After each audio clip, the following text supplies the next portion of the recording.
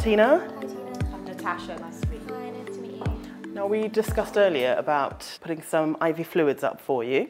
Welcome to this video which demonstrates how to set up an intravenous infusion. Begin by performing wiper. Wash your hands, introduce yourself to the patient and confirm their name, date of birth and if they have any allergies. Explain the procedure and seek permission to perform the procedure. Expose their arm and reposition as appropriate. Observe the cannula site for any signs of inflammation or misplacement. Depending on your professional role, you may be required to double check the prescription and patient with a second qualified member of staff. Ensure the fluids are prescribed correctly. Use the five rights the right patient, the right drug or fluid, the right dose, the right route, the right time.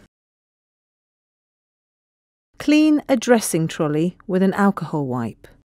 Gather the equipment and check their expiry dates as you go along. You will need a plastic tray, the correct bag of fluid, the correct administration set, a saline flush, an alcohol wipe, a sharps bin, and alcohol hand gel. Also remember gloves and apron. Remove the outer wrapper on the fluid bag and check the fluid for transparency.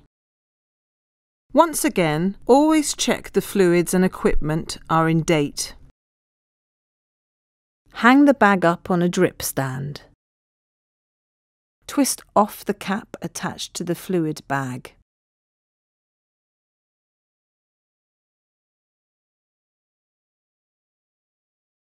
Now open the fluid administration set.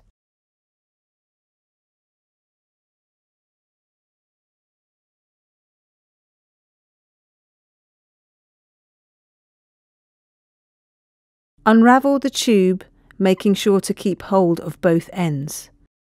These are your key parts that must remain sterile. Clamp the tube using the roller clamp. Do this by rolling the wheel downwards. Remove the cap from the spike. This is a key part and must remain sterile. Now push the spike firmly into the port with a twisting motion. Ensure the opposite end of the tube remains safely in your hand. Squeeze the drip chamber several times until it fills halfway with fluid.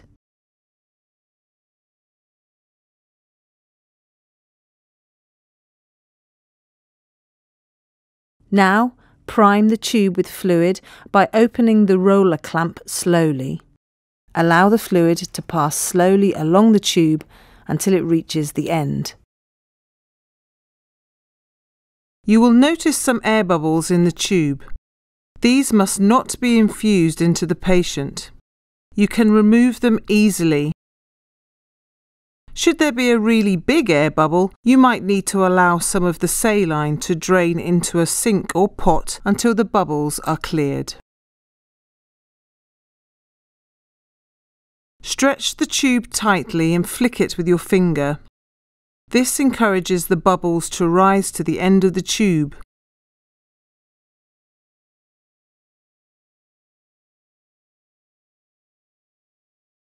Now close the clamp.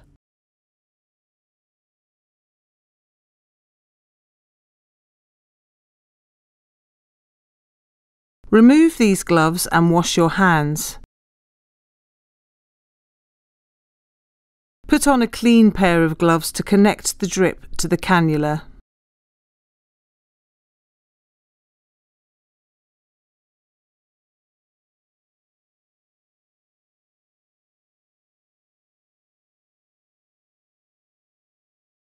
Bring your tray containing an alcohol wipe and saline flush closer to your patient.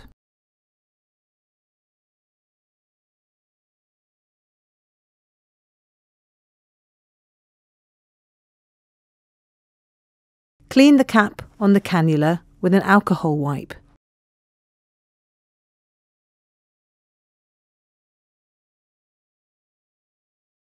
Open the clamp.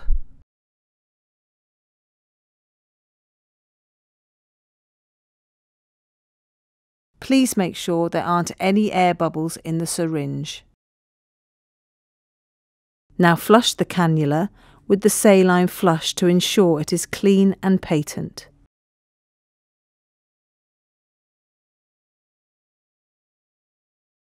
Now close the clamp.